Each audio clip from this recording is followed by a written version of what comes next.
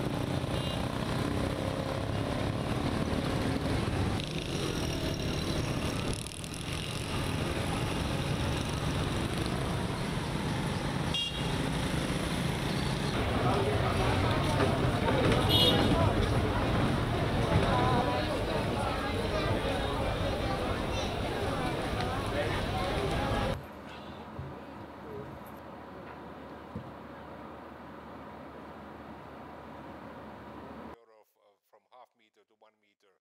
century. So it will take off uh, big cities. Uh, if we summarize uh, the negative uh, news, it's uh, it's concentration of, uh, of greenhouse gases, it's regional temperature records, it's sea level rise, and it's melting of of the glaciers and sea, related sea level rise.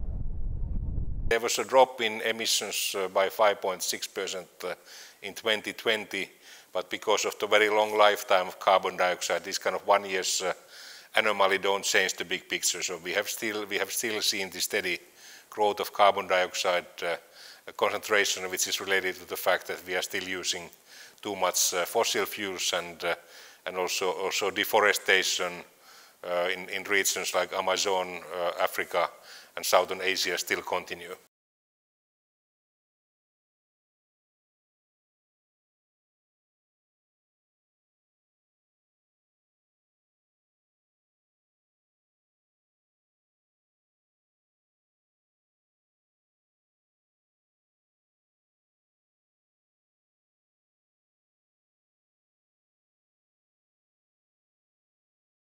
In, in, Glasgow, we saw progress among uh, the developed countries. The G7 countries and European Union made pledges which would keep us on, on a track towards uh, 1.5 degree warming. But the rest of the G20 countries, like countries like China, India, Brazil, uh, uh South Africa, and Russia, they were not ready to make such uh, pledges, and, and, and, that's why we are not heading towards 1.5. We are rather heading towards 2.5 to 3 degree warming instead of 1.5. But, uh, but there's uh, still hope to keep us within the Paris uh, 1.5 to 2 degrees limit, uh, but 1.5 will be very challenging uh, after, after these, these pledges that we didn't hear from, from, from these BRICS countries, for example.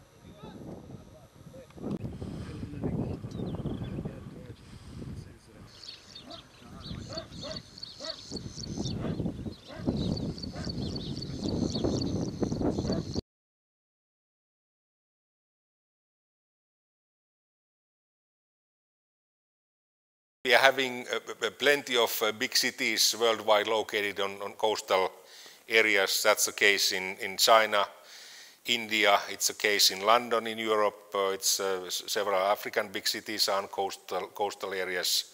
Same is true for New York, Los Angeles, uh, Buenos Aires, and, and, and the sea level rise is going to threaten those, those cities. And of course we have uh, also des desperate cities like Venice, which which we, which we are most likely going to lose. And of course, we have island states uh, and, and low-lying uh, states like Netherlands or Bangladesh, which are very, very vulnerable to the sea level rise.